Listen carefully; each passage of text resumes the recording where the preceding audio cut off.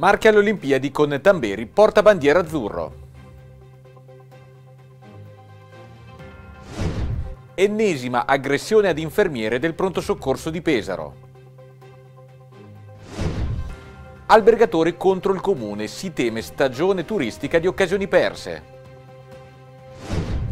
Da Ricci a Seri, ecco pesaresi e fanesi candidati alle europee. Sport per VL e Vispesaro si fa sempre più dura.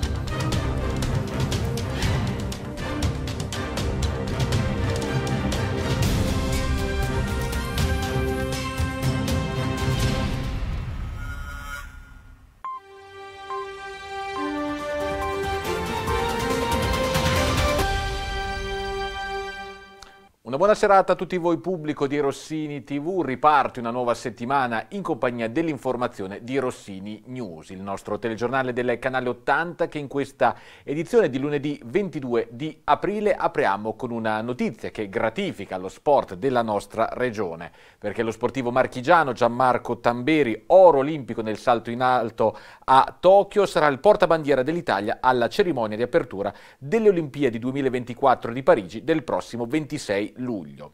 Sarà però un doppio portabandiera assieme a Tamberi in riva alla Senna ci sarà anche la campionessa di scherma Arianna Enrico.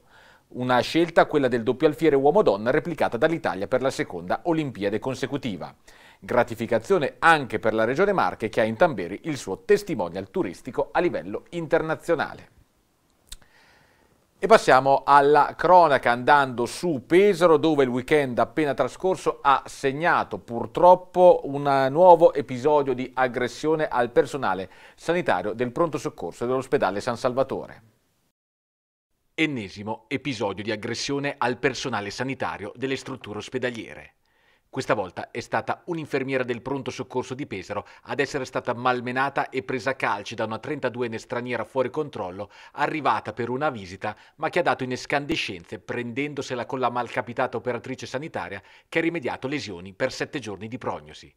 Infermiera che è stata aiutata dai colleghi nel disinnescare la furia della 32enne, che è stata poi arrestata dai carabinieri.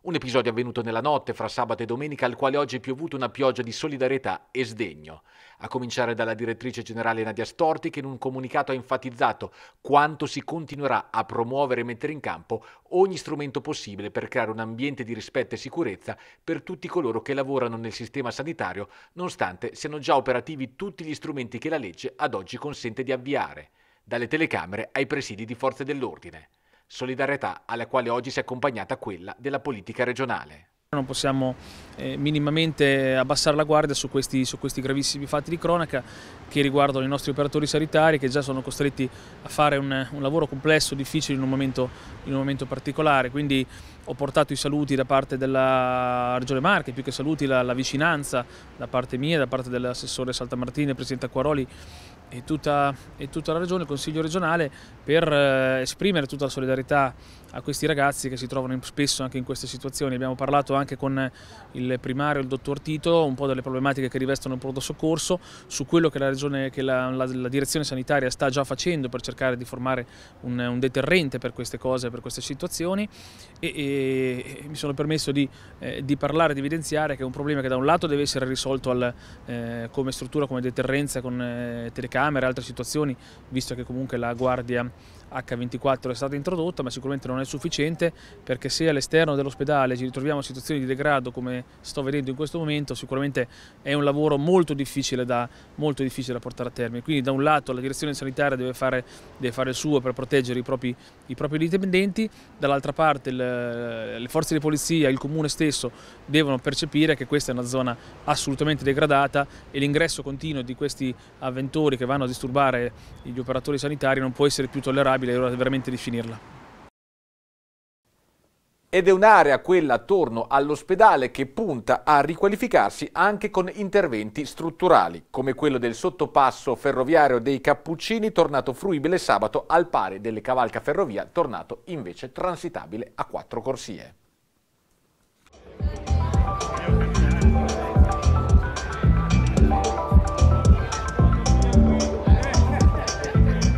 Dopo anni di lavori, il cavalca ferrovia De Sabata è tornato transitabile a quattro corsie e nel riaprirsi al traffico completo si trascina anche l'apertura del sottopasso dei Cappuccini ampliato e riqualificato con tanto di ritorno alla normalità del traffico su via Cardinal Massaia. Niente taglio del nastro in ossequio alle regole di campagna elettorale, comunque additate come violate dai candidati politici del centrodestra in base alle regole sulla par condicio che vieterebbero inaugurazioni in questo periodo. Niente taglio del nastro, ma una festa in musica per riaprire un sottopasso ferroviario pedonale per un intervento da 884.000 euro che ha risolto problemi relativi alle barriere architettoniche, potenziando la fruibilità del sottopassaggio, ora largo 3 metri, lungo 102 e con pendenza delle rampe dell'8%. Un'area che ora si arricchisce anche di un nuovo deposito per biciclette a servizio della mobilità urbana.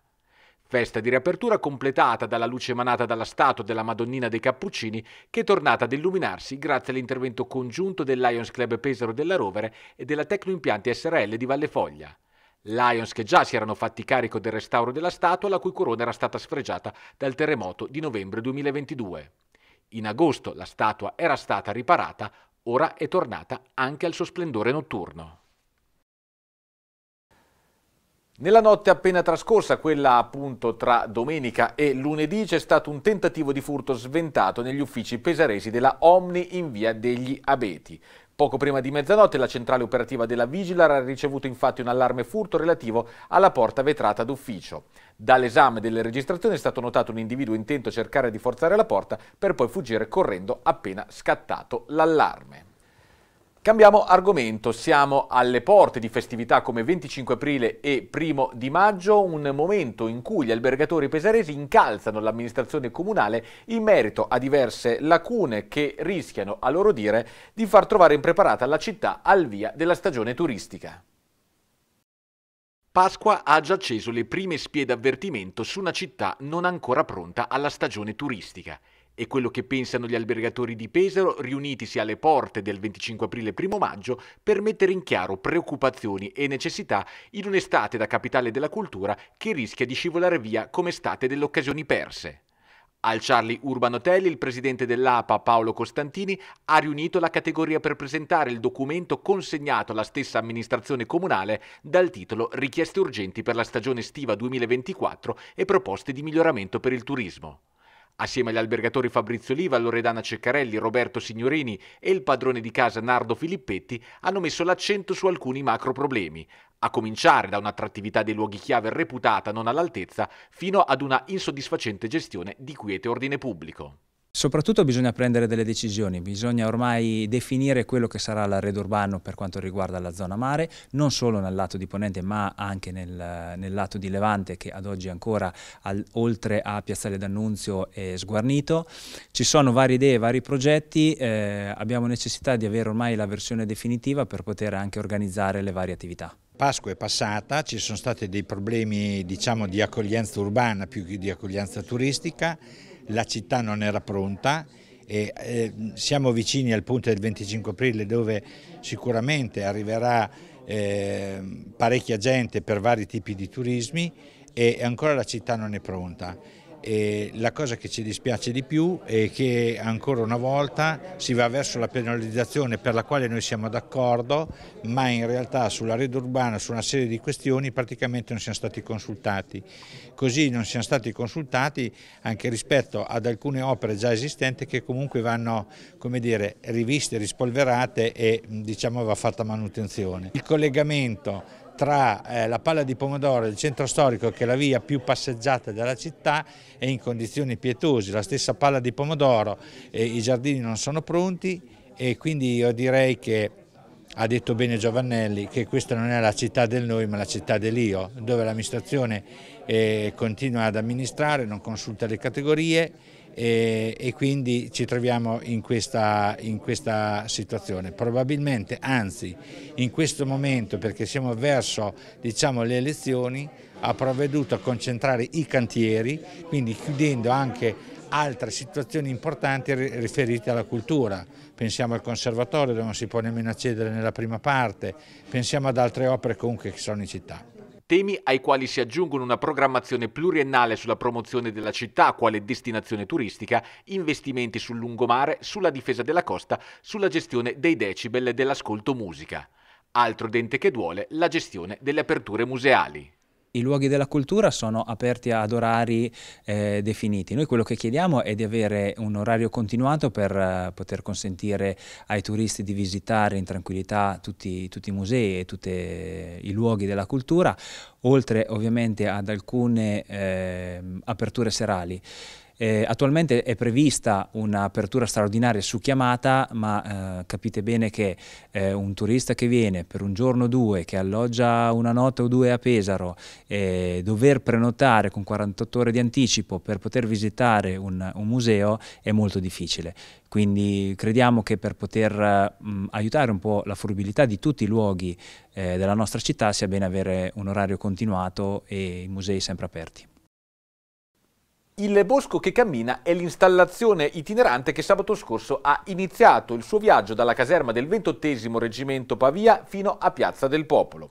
Inizio in tono minore rispetto alle previsioni perché a causa delle avverse condizioni meteo è stata trasportata in centro storico solo una dozzina dei 100 alberi che per quattro mesi occuperanno spazi senza verde della città fino all'alberghiero Santa Marta dove, a detta degli organizzatori, non verranno sottratti spazi ai parcheggi.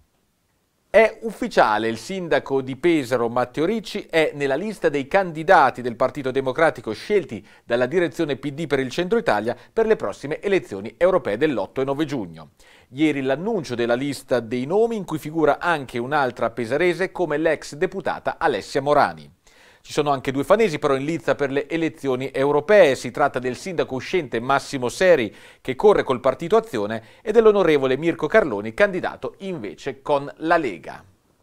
Dalle elezioni europee a quelle amministrative della città di Pesaro, dove la candidatura a sindaco di centrosinistra di Andrea Biancani viene sostenuta fra i vari esponenti della coalizione dal Partito Democratico e dalla lista Forza Pesaro con Mila della Dora. Due eh, liste che hanno presentato i propri candidati al Consiglio Comunale. 32 candidati al Consiglio Comunale per il Partito Democratico, 29 candidati con la lista Forza Pesaro di Mila della Dora. Quella di sabato è stata una giornata di presentazione di volti, nomi e cognomi di due schieramenti che sosterranno la candidatura a sindaco di Pesaro per il centrosinistra di Andrea Biancani. Biancani, che nella sua sede elettorale di Largo Tre Martiri ha ospitato la sua squadra del PD con 32 nomi ben miscelati fra assessori e consiglieri comunali uscenti, così come fra giovani nuove leve. Sono rappresentati i quartieri, sono rappresentati i territori, abbiamo un'importante presenza di giovani, abbiamo 7 under 35, un obiettivo è portare i giovani in Consiglio Comunale, i giovani del Partito Democratico, che dobbiamo valorizzare, sostenere per questo obiettivo. È importante eh, la rappresentanza dei territori, abbiamo rappresentato tutti i quartieri della città, siamo arrivati fino a Monteciccardo, abbiamo un candidato di Monteciccardo di cui sono molto contento perché il progetto di fusione deve essere concretizzato ulteriormente, deve essere rafforzato e la candidatura ha proprio questo senso. È importante anche le competenze che in qualche modo abbiamo intercettato delle, dei candidati e delle candidate, eh, abbiamo diversi esponenti del mondo dell'educazione, insegnanti, diversi esponenti del mondo sociale, del mondo ospedaliero, mondo dell'economia, del lavoro subordinato, dirigenti di azienda, liberi professionisti, diciamo rappresentiamo tutto il contesto cittadino. Sui temi abbiamo ovviamente un tema principale che è quello della valorizzazione della capitale della cultura e di tutto quel progetto. Non è un caso che nel simbolo del PD abbiamo messo proprio la slogan Un capitale per la città e ovviamente i temi su cui contiamo di rimpegnarci e di continuare a dare uno sforzo importante è quello del welfare, dei servizi sociali, servizi alle famiglie, servizi educativi. E ovviamente un impegno ancora da mantenere nella realizzazione dei tanti progetti a cui abbiamo attinto risorse che già sono iniziati, alcuni stanno iniziando che sicuramente cambieranno il volto di Pesaro.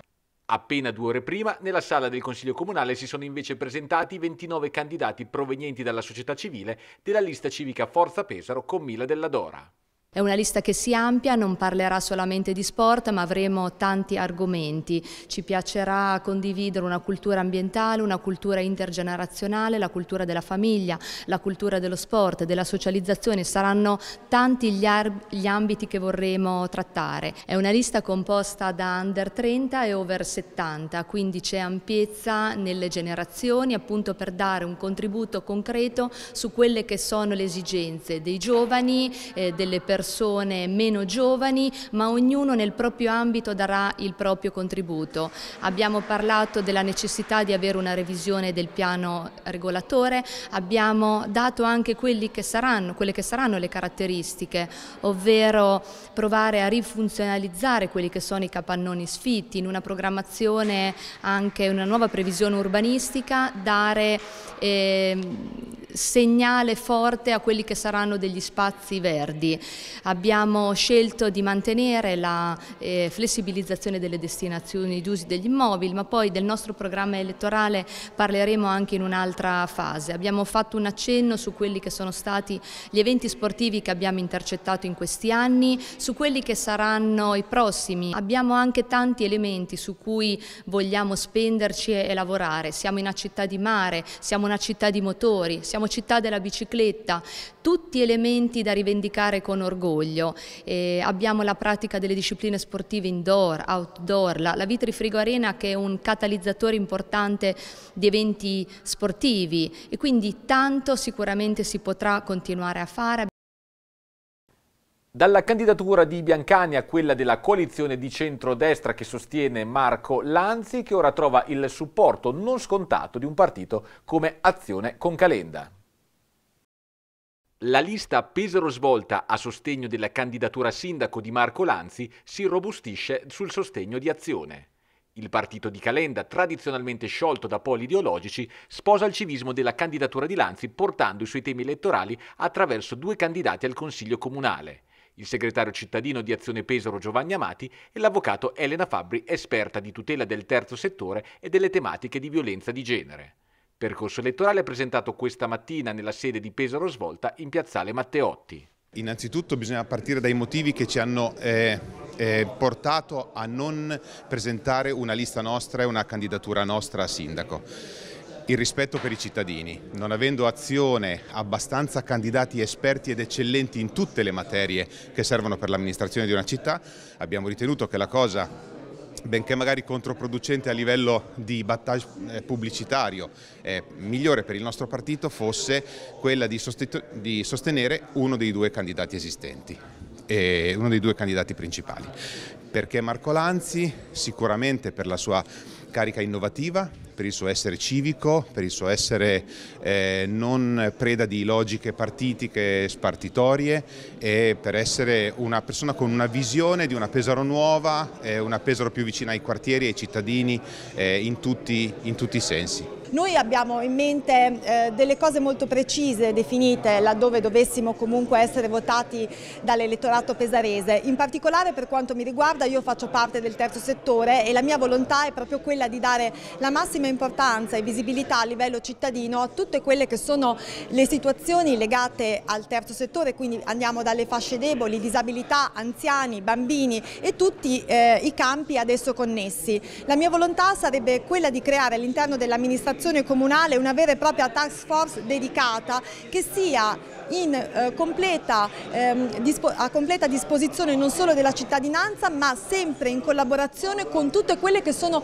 le associazioni all'interno della nostra città che sono delle energie oggi purtroppo inespresse perché purtroppo l'amministrazione ad oggi non ha saputo eh, cooperare, collaborare, dar voce a quelle che sono le presenze sul territorio del terzo settore e questo lo possiamo vedere anche da alcune scelte che sono state fatte non soltanto da noi di Azione ma anche da altri candidati che provengono proprio da, quella, da quel mondo. Quasi una cinquantina di operatori balneari sono stati ricevuti da Marche Multiservizi per fare il punto sull'avvicinarsi della stagione estiva. Marche Multiservizi ha infatti avviato già dall'anno scorso un tavolo di confronto con gli imprenditori con l'obiettivo di agevolare l'attività degli stessi e migliorare ulteriormente il decoro e la pulizia di spiagge e stabilimenti. L'Orchestra Sinfonica Rossini ha annunciato i tre vincitori dei Pesaro Music Awards 2024, PMA che sono nati nel 2019 come premio a personalità eccellenti nel settore musicale che hanno avuto contatti o legami con la città di Pesaro. Ad essere premiati sabato 27 aprile alle 21 al Teatro Rossini saranno il regista, scenografo e costumista Pierluigi Pizzi, l'Associazione Italia Festival, terzo premio invece dedicato alla memoria del grande tenore Luciano Pavarotti. Torna in concerto a Pesaro Renato Zero. Il popolare cantautore, presentando il suo nuovo tour, ha inserito una performance alla Vitri Frigo Arena il 26 ottobre come una delle sue 14 tappe italiane di autoritratto I Concerti Evento. E come di consueto concludiamo il nostro notiziario lunedì con le notizie di sport andando a vedere che cosa è accaduto per quello che riguarda VL, Vispesaro Ital Service e Pesaro Rugby. Sabato la AVL ha perso la battaglia, la domenica ha però ricordato che la guerra non è ancora terminata.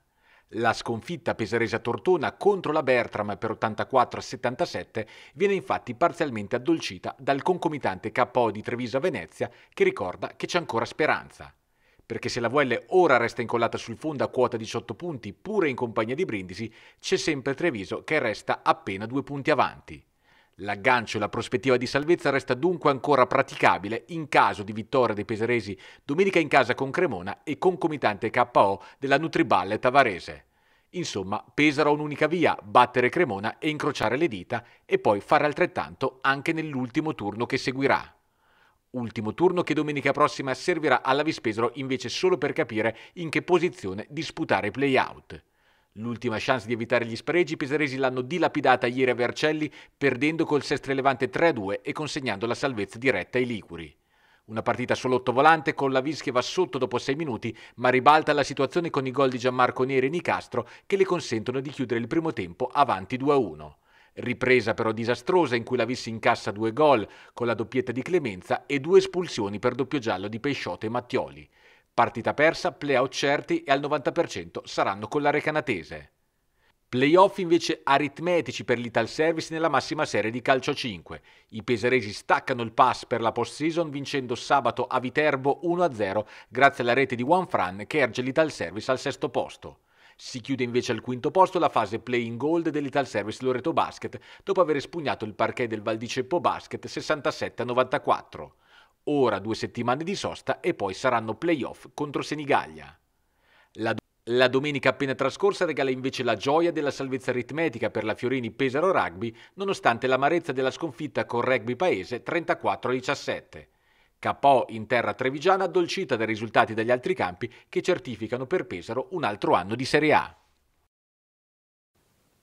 E si conclude qui questa nostra edizione del telegiornale Rossini News del lunedì. Prima di salutarci vi ricordiamo alcuni appuntamenti in questo 22 di aprile, a cominciare dal magazine La natura della cultura, il nostro spazio di approfondimento sui temi di Pesaro 2024. Subito dopo il TG alle 20 un nuovo approfondimento, momento che vi trasmettiamo in tre giornate, appunto il lunedì, il mercoledì e il venerdì e in tre fasce orarie alle 8, alle 13 e alle 20 con riassunto della settimana il sabato alle 12 alle 19 e domenica alle 15 alle 21 lunedì sera che anche la serata di check-up obiettivo salute, il nostro approfondimento condotto da Antonio Astuti in collaborazione con Fisioradi Medical Center, appuntamento di questa sera alle 21.20 in cui si, si parlerà di protesi e robotica con ospite Marco Fravisini, medico chirurgo specialista in ortopedia.